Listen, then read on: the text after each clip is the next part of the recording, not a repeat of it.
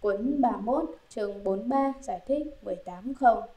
Kinh lại nữa, này xá lợi Phất, Bồ Tát Ma Ha Tát bốn trụ nội không, ngoại không, nội ngoại không, không không, đại không, đệ nhất nghĩa không, hữu vi không, vô vi không, tất cánh không, vô thí, vô thỉ không, tán không, tánh không, tự tướng không, các pháp không, bất khả đắc không, vô pháp không, hữu pháp không, vô pháp, hữu pháp không, nên học bát nhã ba la mật.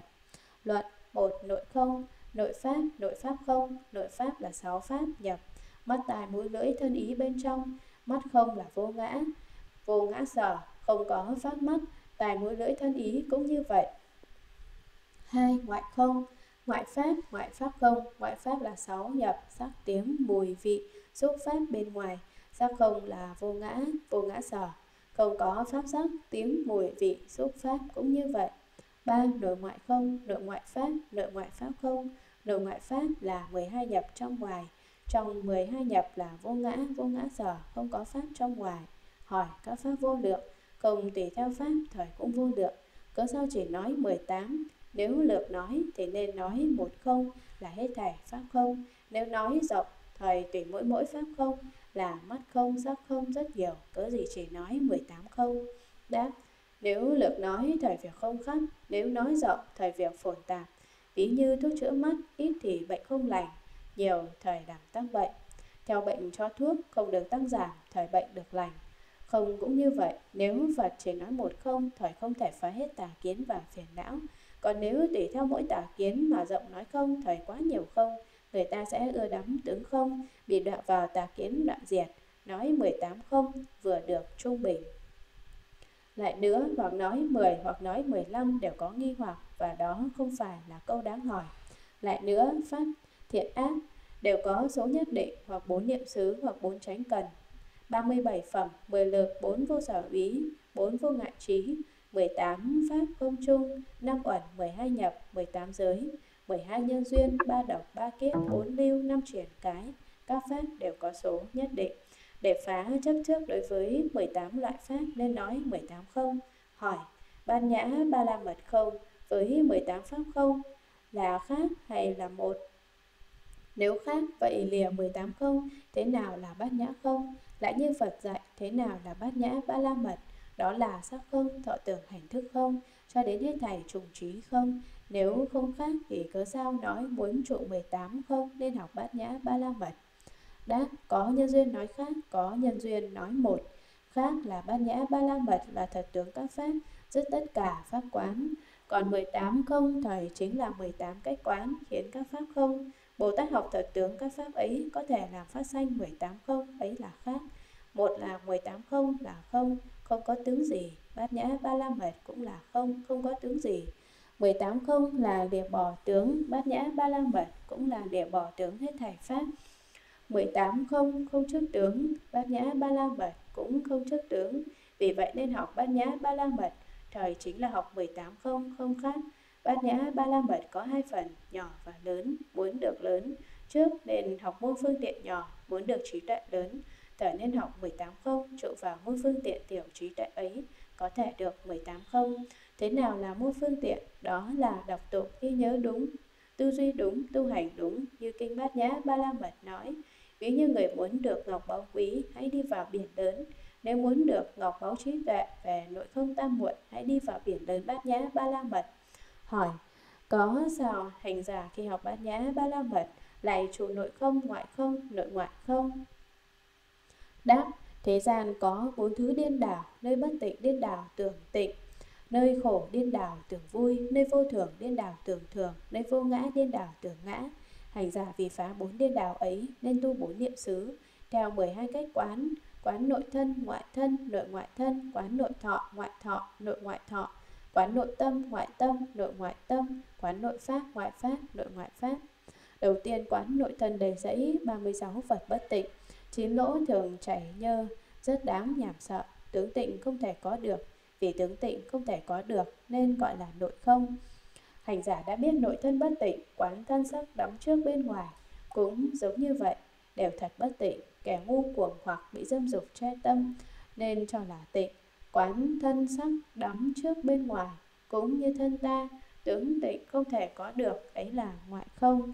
Hành giả nếu quán thân mình bất tịnh thì hoặc cho thân sắc ngoài là tịnh, nếu quán thân sắc ngoài bất tịnh thì hoặc cho thân mình là tịnh, nay quán cả trong ngoài, thân ta bất tịnh, ngoài cũng như vậy, thân ngoài bất tịnh, ta cũng như vậy.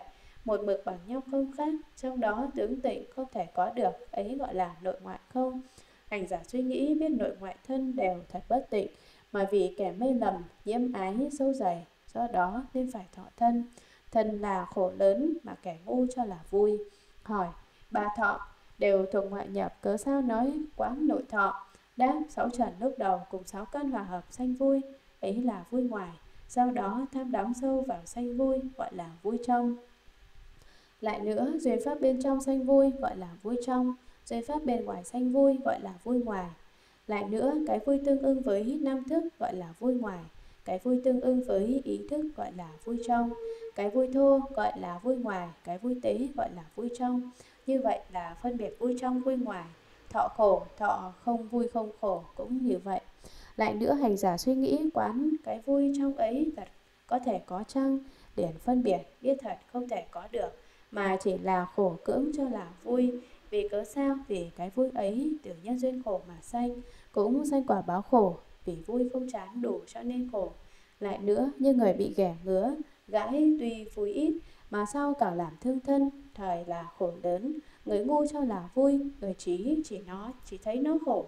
Như vậy thế gian vì bệnh tưởng điên đảo tưởng vui nên đắm trước năm dục phiền não thêm nhiều vì vậy nên hành giả chẳng thấy vui chỉ thấy khổ như bệnh như ung như ghẻ như đâm lại nữa, vui ít khổ nhiều, vui ít không hiện ra nên gọi là khổ. Như nước sông lớn ném vào một hạt muối, thoải mất tướng muối, không gọi là mặn. Lại nữa, cái vui không nhất định, đây cho là vui, kia cho là khổ, kia cho là vui, đây cho là khổ. Giữ được là vui, mất đi là khổ, ngu cho là vui, trí cho là khổ. Thấy tai họa của vui cho là khổ, thấy tai họa của vui cho là vui. Không thấy tướng vô thường của vui cho là khổ, người chưa lìa dục cho là vui. Người lìa dục cho là khổ. Như vậy quán vui là khổ quán khổ như tên đâm vào thân. Quán tướng không khổ không vui vô thường biến đổi. Như vậy quán ba thứ thọ tâm liền lìa bỏ.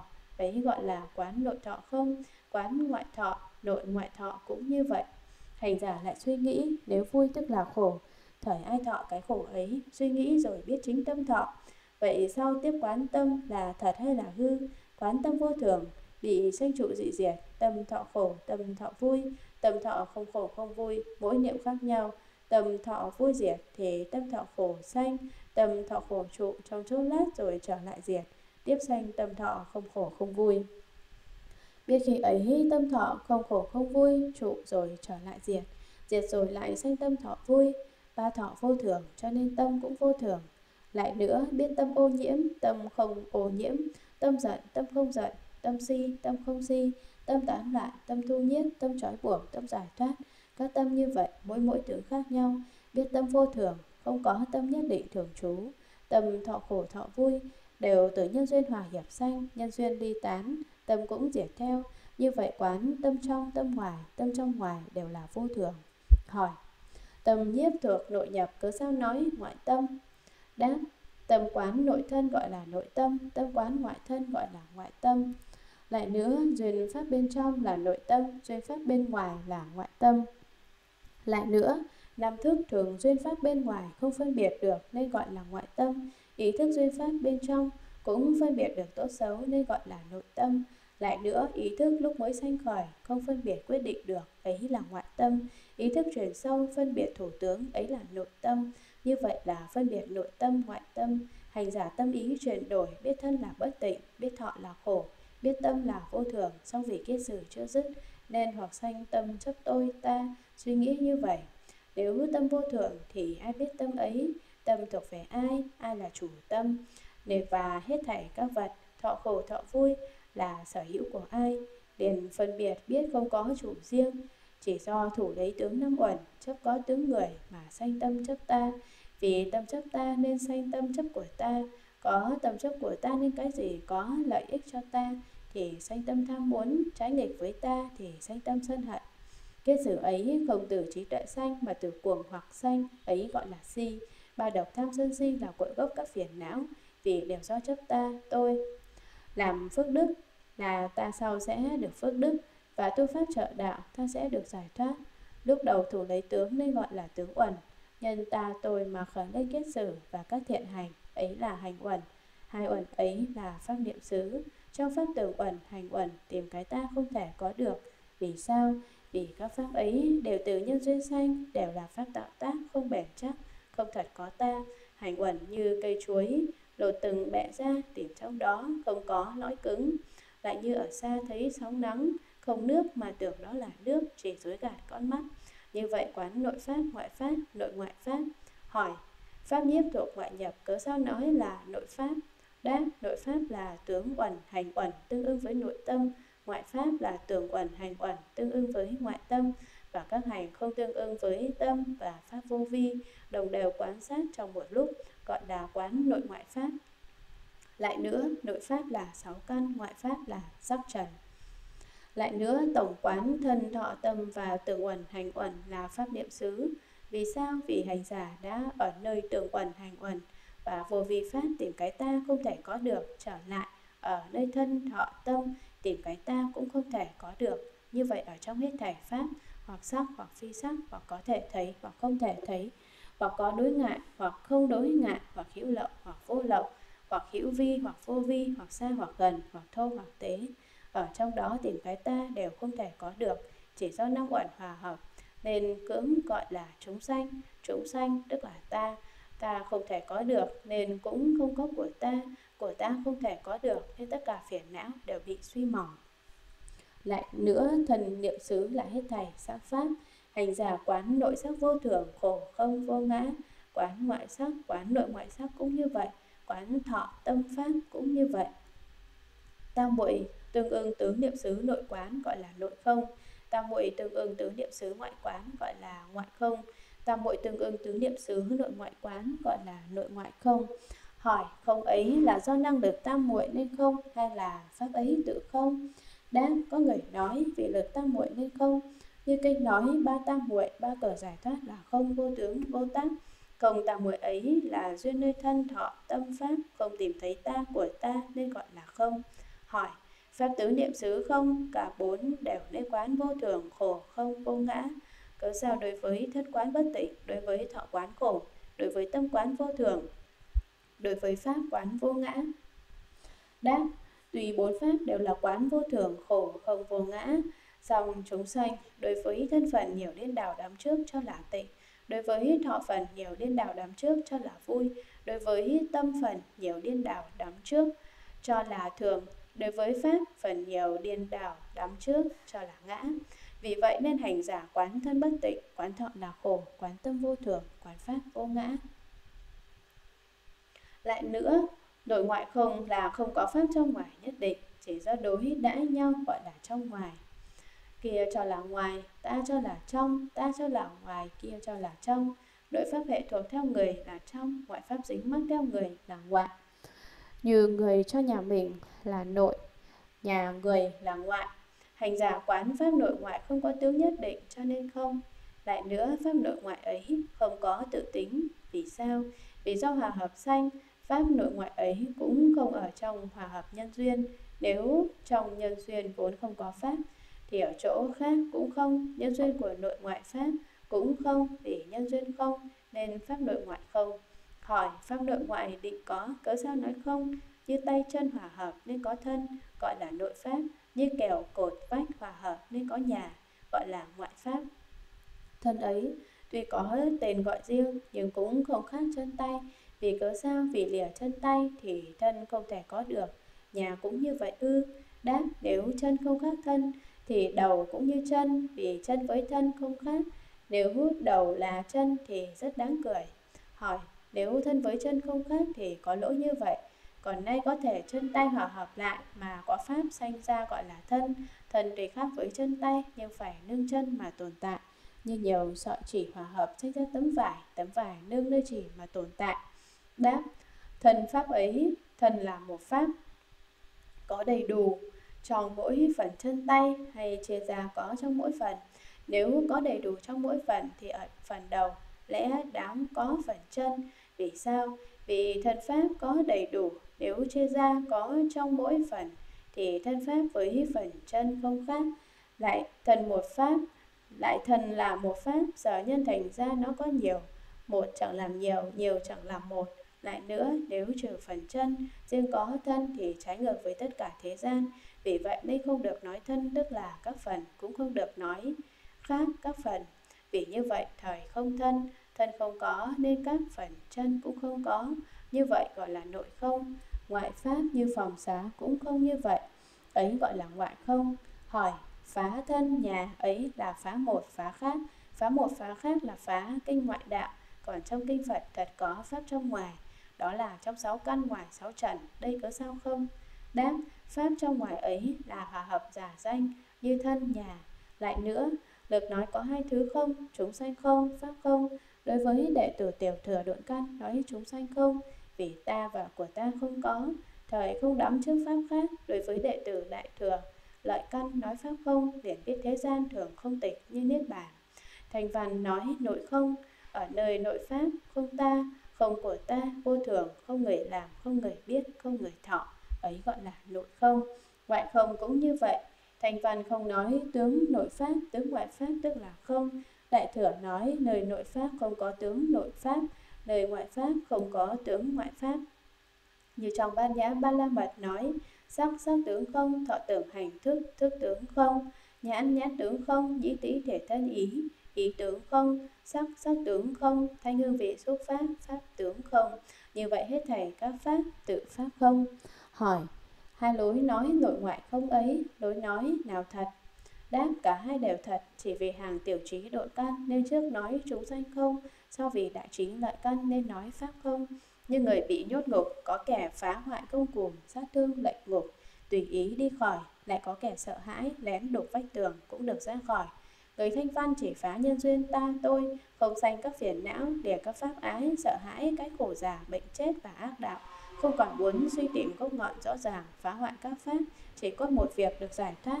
Người đại thừa phá ngục ba cõi, hàng phục ba quân, dứt các kết sử và tập khí, hiểu rõ gốc ngọn hết thảy pháp, thông đạt vô ngại, phá tán các pháp, làm cho thế gian như niết bàn, đồng tướng tịch diệt, được vô thượng, tránh đẳng, tránh giác, làm cho hết thảy chúng sanh ra khỏi ba cõi. Hỏi, có sao đại thừa phá hoại các pháp?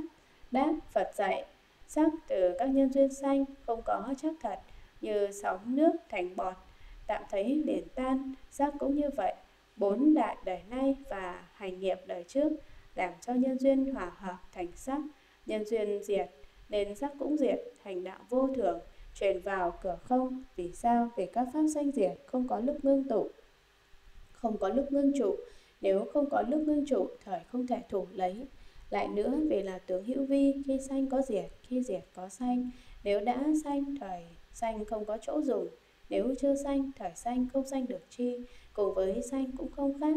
Vì cớ sao, vì sanh nếu sanh ra pháp, thời lẽ, đáng có cái sanh ra sanh như vậy lại phải có cái sanh ra cái sanh nữa. Ấy thời vô cùng. Nếu cái sanh ra sanh lại không do các sanh khác thời sanh cũng chẳng nên có sanh.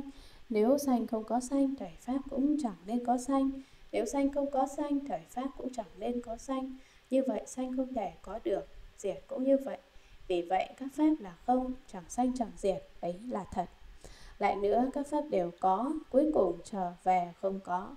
Nếu sau không có, thời trước cũng nên không. Như người đi giày, lúc đầu đã có cũ, vì vi tế này không biết nếu lúc đầu không cũ thời nên thường mới mãi. Nếu lúc sau có cũ thì lúc đầu cũng có cũ. Pháp cũng như vậy, lúc sau có không nên lúc đầu cũng có không. Vì vậy nên tất cả pháp đều nên không. Chỉ vì chúng sanh điên đảo nhiễm trước sáu căn bên trong nên hành giả phá điên đảo ấy, gọi là nội không. Ngoại không, nội ngoại không cũng như vậy. Bốn không không. Lấy không phá nội không, ngoại không, nội ngoại không phá ba không ấy nên gọi là không không lại nữa, trước lấy pháp không, phá nội ngoại pháp. Lại lấy không này, phá ba không kia, ấy gọi là không không. Lại nữa, không tam muội quán, năm uẩn không được tám thánh đạo. Dứt các phiền não được hữu dư niết bàn. Khi chấm dứt thân mạng, do nhân duyên hành nghiệp, đời trước có được. Muốn buông bỏ tám thánh đạo, nên phát sanh không không tam muội, ấy gọi là không không. Hỏi không với không không khác nhau thế nào? Đáp, không phá năm thọ uẩn, còn không không phá không hỏi Không nếu là pháp, thời không là đã tự phá. Không nếu chẳng phải pháp, thời không phá được gì. Đáp, không phá hết thảy pháp chỉ có không còn lại. Không phá hết thảy pháp rồi. Không cũng phải bỏ, vì vậy nên cần phải là không không. Lại nữa, không duyên hết thảy pháp, không không chỉ duyên không. Như một kẻ mạnh phá tất cả giặc, lại có người phá kẻ mạnh ấy, không không cũng như vậy. Lại nữa uống thuốc, thuốc hay trừ bệnh, nếu bệnh đã lành thì thuốc cũng phải tống ra, nếu thuốc không tống ra, thời thuốc lại là bệnh. Lấy không trừ các bệnh phiền não, sợ không trở lại làm bệnh, nên lại lấy không xả không, ấy gọi là không không. năm Đại không Ở trong Pháp thành văn, Pháp không là đại không, như kinh đại không trong tạp A Hàm nói, sanh làm nhân duyên cho giả chết. Nếu có người nói là giả chết, là người giả chết, cả hai đều tà kiến, là người già chết, ấy là chúng sanh không, là giả chết, ấy là pháp không. Còn trong tinh đại thừa nói, mười phương, mười phương tướng không, ấy là đại không. Hỏi, mười phương không, cớ sao gọi là đại không? Đáp, phương đông vô biên cho nên gọi là đại, và có ở khắp mọi nơi nên gọi là đại. Khắp tất cả sắc pháp nên gọi là đại, thường có nên gọi là đại, lợi ích thế gian nên gọi là đại, làm cho chúng sanh không mê muội gọi là đại, phá được đại phương như vậy gọi là đại không. Các thứ không khác chỉ phá pháp nhân duyên sanh, pháp có tạo tác, pháp thô dễ phá nên không gọi là đại. Phương hướng chẳng phải là pháp nhân duyên sanh, chẳng phải pháp tạo tác là pháp vi tế khó phá, cho nên gọi là đại không. Hỏi, hoặc trong Phật Pháp không nói có ba phương vì nó không nhiếp thuộc trong ba vô vi là hư không, trí duyên tận, phi trí duyên tận cũng gọi là hư không, trạch diệt, phi trạch diệt. Cớ sao đây lại nói có phương là thường, là pháp vô vi, chẳng phải nhân duyên sanh, pháp chẳng phải tạo tác, pháp vi tế. Đáp, phương trong luận nghĩa của thanh văn thì không có, còn trong pháp đại thừa vì theo thế tục đế nên nói có, theo đệ nhất nghĩa thì hết thảy đều không thể có được huống dị phương giống như nằm ẩn hòa hợp giả danh là chúng sanh phương cũng như vậy ở giữa sự hòa hợp của tứ đại tạo sắc phân biệt so sánh trong đây trong kia mà giả danh là phương chỗ mặt trời mọc là phương đông chỗ mặt trời mọc chỗ mặt trời mọc là phương tây như vậy là tướng của phương phương ấy tự nhiên thường có chẳng phải nhân duyên sanh cũng chẳng phải trước không nay có nay có sao không cho nên chẳng phải là pháp tạo tác vì chẳng phải hiện tiền biết được nên nó là pháp vi tế. Hỏi, Phương nếu như vậy thời làm sao phá được? Đáp, ông không nghe trước đây tôi nói vì theo thế tục, vì theo tục đế nên có, theo đệ nhất nghĩa nên phá, vì tục đế có nên không rơi vào tà kiến chấp đoạn diệt. Vì theo đệ nhất nghĩa phá nên không rơi vào tà kiến chấp thường, ấy là đã lược nói nghĩa đại không. Hỏi đệ nhất nghĩa không cũng phá được pháp không tạo tác, Pháp không nhân duyên, pháp vi tế, cớ sao không nói là đại không? Đáp, trước đã gọi là đại, nên đây không gọi là đại, nhưng đại nhất nghĩa không, tên tùy khác mà nghĩa thật là đại. Cho thế gian cho niết bản là đại, thế gian cho phương là đại, vì vậy nên đệ nhất nghĩa cũng là đại không. Lại nữa, vì phá đại tà kiến, về ác thời nên gọi là đại không, như hành giả lấy từ tâm duyên chúng sanh trong một quốc độ phương Đông, rồi lại duyên chúng sanh một quốc độ. Như vậy, trong lúc chuyển chuyển duyên, nếu cho rằng duyên hết quốc độ phương Đông, thời rơi vào hữu biên kiến. Nếu cho rằng duyên chưa hết quốc độ phương Đông, thời rơi vào vô biên kiến. Nếu sanh hai kiến ấy, liền mất tử tâm. Nếu lấy phương không phá đồng phương ấy, thời dứt hai kiến hữu biên vô biên. Nếu không lấy phương không phá đông phương, thời tâm hướng theo đông phương, tâm theo đông phương không ngừng, thời tử tâm dứt, tà tâm sanh. Ví như lúc nước chiều dâng đến giới hạn thường lệ, thời xoay trở lại, cá nếu không xoay lại kịp thời bị giạt lên bờ, chịu đủ thứ khổ, nếu cá có trí, thời theo nước xoay lại, vĩnh viễn được an ổn. Hành giả cũng như vậy, nếu tâm hướng theo phương không xoay lại kịp thời, bị trôi vào tà kiến, nếu tâm hướng theo phương biết xoay lại kịp thời, không mất tử tâm. Như vậy phá đại tà kiến về ác thời, nên gọi là đại không. 6. Đệ nhất nghĩa không Thật tướng của các pháp vì không phá không hoại Thật tướng ấy cũng không Vì sao? Vì không lãnh thọ, không dính mắc Nếu thật tướng các pháp là có Thì phải có lãnh thọ, phải có dính mắc Vì không có thật Nên không lãnh thọ, không dính mắc Nếu như lãnh thọ dính mắc Tức là hư dối Lại nữa, pháp đệ nhất trong các pháp là Niết Bàn, như trong A Tỷ Đảng nói. Thế nào là pháp hữu thượng? Đó là pháp hữu vi và hư không, phi trí duyên tận, tức là phi trạch diệt vô vi, nghĩa là pháp hữu lậu phiền não vì thiếu duyên nên không sanh khỏi mà thành như vô lậu vô vi, chứ chẳng phải thật vô lậu vô vi. Trái lại, trạch diệt vô vi là do trí tuệ quyết trạch, dứt sạch hữu lậu hữu vi và thành vô lậu vô vi, mới thật là niết bàn. Thế nào là pháp vô thượng? Đó là trí duyên tận, cũng tức là trạch diệt vô vi, trí duyên tận, tức là niết bàn. Trong niết bàn cũng không có tướng niết bàn. Niết bàn không là đệ nhất nghĩa không. Hỏi, nếu niết bàn là không vô tướng, làm sao thánh nhân nương ba thừa mà vào niết bàn? Lại, hết thảy Phật Pháp được nói ra đều vì niết bàn. Ví như các dòng nước đều chảy vào biển. Đáp, có niết bàn là pháp vô thượng để nhất báu. Có hai thứ, một hữu dư niết bàn, hai vô dư niết bàn. Các phiền não ái dứt gọi là hữu dư niết bàn. Đánh nhân thân ngũ quần đời này chấm dứt không còn thọ thân trở lại, ấy gọi là vô dư niết bàn. Không được nói niết bàn không có, nhưng chúng sanh nghe tên niết bàn, tâm sanh tà kiến, đắm trước âm thanh niết bàn và sanh hí luận cho là hoặc có hoặc không, vì để phá sự chấp trước ấy nên nói niết bàn không. Nếu người chấp trước có là chấp trước thế gian, nếu chấp trước không, thời chấp trước niết bàn. Phá cái niết bàn của kẻ phàm phu chấp trước chứ không phá niết bàn của bậc thánh chứng đắc vì cớ sao? Vì thánh nhân đối với hết thảy pháp không thủ tướng. Lại nữa các phiền não ái giả danh là trói nếu tu đạo cởi khỏi trói ấy được giải thoát tức gọi là niết bàn. Lại không có pháp nào riêng gọi là niết bàn. Nhưng người bị cùng chân được thoát mà hí luận rằng ấy cùng ấy chân cái gì là giải thoát? Người như vậy đáng cười ngoài cùng ngoài chân còn tìm sự giải thoát.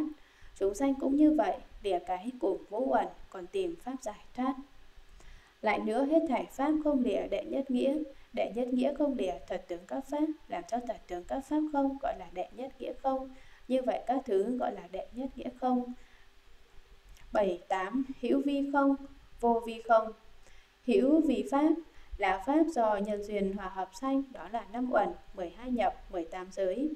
Vô vi pháp là không nhân duyên, thường chẳng sanh chẳng diệt như hư không, hữu vi pháp do hai nhân duyên nên không. Một là không ta, không của ta và không tướng thường, không biến dị, không thể có được nên không. Hai, hữu vi pháp, tướng hữu vi pháp không, chẳng sanh chẳng diệt, không có gì. Hỏi ta của ta và tướng thường không thể có được cho nên không. Cớ sao nói hữu vi pháp, tướng hữu vi pháp cũng không. Đáp, nếu không chúng sanh, pháp không chỗ dựa, lại vô thường nên không có lúc ngưng trụ, không có lúc trụ nên không thể biết được, cho nên pháp cũng không. Hỏi trong pháp hữu vi tướng thường là không thể có được, còn không thể có được ấy là chúng sanh không hay pháp không? Đáp, có người nói tầm tài điện đảo nên chấp ta là thường, cái thường ấy không, thời thuộc vào chúng sanh không? Có người nói cho tầm là thường như Phạm Thiên Vương nói, tứ đại và tứ đại sở tạo sắc đều vô thường, còn tâm ý thức là thường, cái thường không ấy thời thuộc vào pháp không và có người nói năm uẩn tức là thường nhưng sắc uẩn tuy biến hóa mà cũng không diệt. Các uẩn khác cũng nói giống như tâm, năm uẩn không tức là pháp không, cho nên thường không cũng nhiếp vào pháp không. Lại nữa, hữu vi pháp, vô vi pháp không là hành giả, quán cả tướng pháp hữu vi, pháp vô vi, không có tác giả, chỉ do nhân duyên hòa hợp nên có, đều là hư dối, hư tưởng, phân biệt sanh, không ở trong, không ở ngoài, không ở trọng giữa. Và phu điên đảo thấy nên có, còn trí giả đối pháp hữu vi, không tìm được tướng nó biết nó chỉ là tên giả. Lấy tên giả ấy mà dẫn đạo phản phu biết nó hư dối không thật không sanh không làm tâm không dính mắc. Lại nữa các bậc hiền thánh không duyên pháp hữu vi mà được đạo quả nhưng do quán pháp hữu vi không nên đối với pháp hữu vi tâm không vướng buộc. Lại nữa địa hữu vi thời không vô vi vì sao? Việc thật tướng của hữu vi chính là vô vi, tướng vô vi thời chẳng phải hữu vi, chỉ vì chúng sanh điên đảo nên phân biệt nói.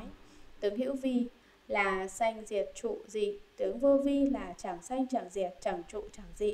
Ấy là cửa ban đầu để vào Phật Pháp. Nếu Pháp vô vi có tướng, ấy thời là hữu vi, hữu vi phát sanh tướng là tập đế, diệt tướng là diệt đế. Nếu không tập, thời không làm, nếu không làm, thời không diệt ấy là tướng như thật của vô vi pháp nếu ngộ được thật tướng các pháp thời không còn rơi trong tướng danh diệt trụ dị khi ấy không thấy pháp hữu vi hợp với pháp vô vi không thấy vô vi hợp với pháp hữu vi, không thủ tướng hữu vi, pháp vô vi pháp. Ấy là vô vi pháp. Vì sao? Vì nếu phân biệt hữu vi pháp vô vi pháp, thời đối với hữu vi vô vi bị chướng ngại, nếu dứt hết các ước tưởng phân biệt, dứt các duyên, vì thật trí không các duyên, thì không đọa vào trong chúng sanh số mà được niết bàn an ổn thường vui. Hỏi, năm không trước đều nói riêng, này hữu vi vô vi không, cớ sao, hợp lại nói. Đáp, pháp hữu vi vô vi đối đãi nhau mà có, nếu trừ hữu vi thời không vô vi, nếu trừ vô vi thời không hữu vi, hai pháp này thu nhiếp hết thảy pháp. Hành giả quán pháp hữu vi có nhược điểm là vô thường, khổ, không, biết pháp vô vi có chỗ lợi ích lớn, rộng lớn cho nên hai pháp hiệp lại nói. Hỏi, pháp hữu vi do nhân duyên hòa hợp sanh không có tự tánh nên không?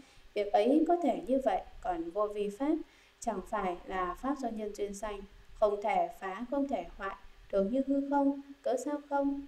Đáp, như trước nói, nếu trừ hữu vi thời không có vô vi, thật tướng của hữu vi tức là vô vi, nếu như hữu vi không thì vô vi cũng không, vì hai sự chẳng khác nhau. Lại nữa, có người nghe nói pháp hữu vi có tội lỗi, mà ái trước pháp vô vi, vì ái trước nên sanh các kết sử. Như trong A Tỳ Đàm nói 89 sử, trong 98 sử mà tách ra, duyên pháp hữu vi mà phát sanh là duyên khổ tập đạo đế mà không ngộ phát sanh lậu hoặc gọi tắt là hữu vi duyên hoặc.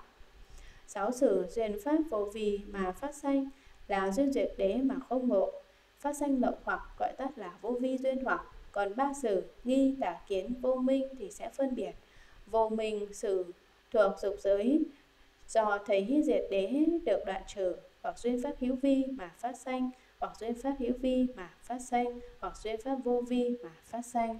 Thế nào là vô minh sử do duyên pháp hữu vi mà phát sanh? Đó là vô minh sử tương ứng với sử do duyên pháp hữu vi mà phát sanh, tức cộng vô minh, được đoạn trừ bởi thấy được diệt đế. Thế nào là vô minh sử do duyên pháp vô vi phát sanh? Đó là vô minh sử không tương ưng, tức bất cộng, vô minh. Với sử do duyên pháp hữu vi mà phát sanh, được đoạn trừ bởi thấy được diệt đế.